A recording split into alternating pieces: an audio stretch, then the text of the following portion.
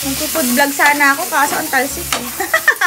So, happy bakasyon mga Mamshi Bells! Hello for another day and for another drama drama. So, for today's video mga Mamshi Bells, magluluto tayo ng adobong sitaw.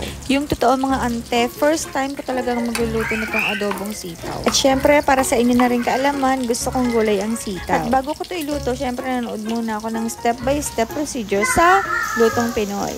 Kaya tarong at gayahin natin ang technique.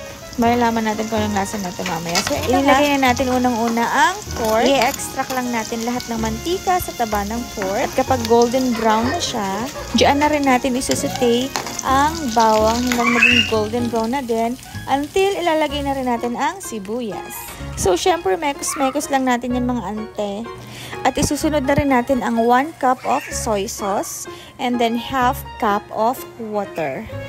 Tapos, hahayaan lang natin silang mag-simmer, kumulo-kulo dyan. Tapos, hihinaan natin ng konti yung apoy. So, ayan, takpan na muna natin at hayaan na muna natin kumulo na kumulo at lumambot ang pork. O, diba, feeling expert sa food vlog. so, ayan, i-check na natin. Medyo nag-simmer na yung soy sauce at nagkakaroon na rin siya ng mantika. Ayan ang hinahanap natin consistency. At syempre, ilalagay na rin natin ang 1-4 cup naman ng vinegar at isang kutsarang full spoon to ha ng brown sugar. Actually, isang kutsara yan, dalawang half lang yan kasi maliit lang yung spoon ko. Ayan, so kailangan natin ng sugar para ma-enhance natin yung lasa ng nilagay nating vinegar para hindi siya masyadong matapang or maasim. But still, optional yun sa mga panlasa nyo mga ante. And for the twist, syempre naglagay ako ng chicharon. Tapos, menekos-mekos ko lang yun. And then, inilagay ko na ang favorite nating sitaw. Ayan, so hahaluin lang natin siya to incorporate everything. And then, naglagay din ako ng konting rock pepper.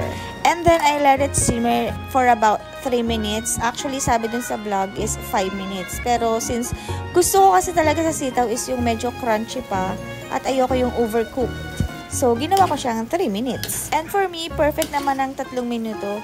Pero, mas perfect na perfect kong 3 milyon. Char! So, ayun, okay na to and ready to serve. Natikman ko na rin at, uy, masarap in fairness. O siya, kain muna ako. Bye!